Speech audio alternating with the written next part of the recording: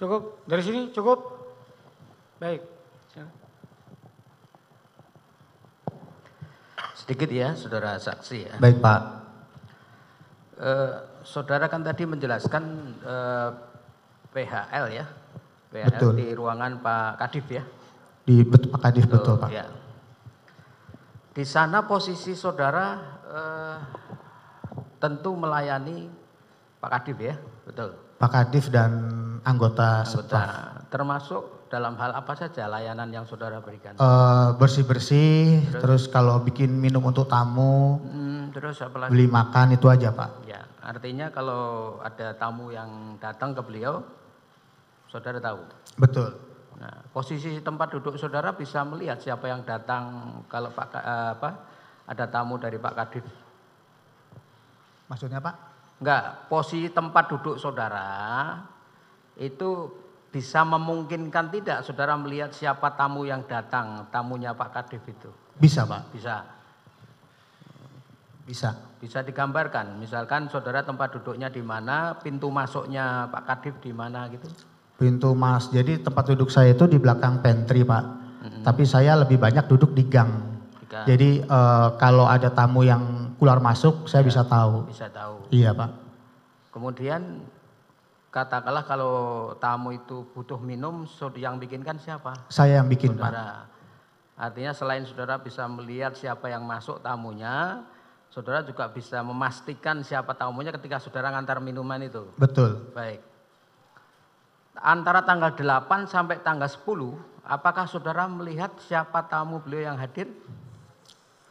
Untuk eh, siapa sajanya saya tidak ingat Tidak Pak. tahu. Iya, Nah, saudara kan tadi mengatakan kenal dengan terdakwa Arif Rahman ini ya. betul.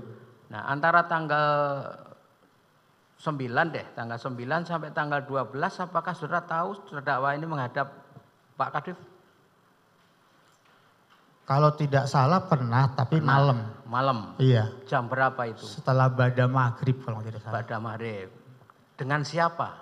Sendiri, Sendiri. Sendiri atau dengan siapa? sendiri beliau. Sendiri.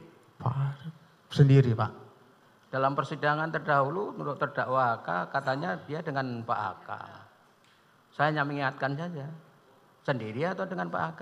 Sama Pak Haka Pak, Sama Pak Iya. AK. habis maghrib. Coba diingat lagi betul seperti itu. Betul. Betul. Tanggal berapa ingat saudara? Untuk tanggalnya saya nggak tahu Artinya pasti. setelah tanggal 9. Iya, Tidak lama setelah tanggal 9. Peristiwa setelah tanggal 8 itu. betul Pak. Tidak lama setelah saudara diminta untuk mengambil DVR dari Irfan tadi. Betul, tidak lama setelah ambil CCTV. Baik. Saudara bisa memastikan bahwa yang menghadap ini terdakwa dengan Pak Haka? Siapa? Saudara bisa memastikan bahwa terdakwa ini dengan Pak Haka yang menghadap setelah maghrib itu. Bisa. Ketika saudara mengantarkan minuman itu. Iya. Nah, berapa lama mereka menghadap Pak Kadif?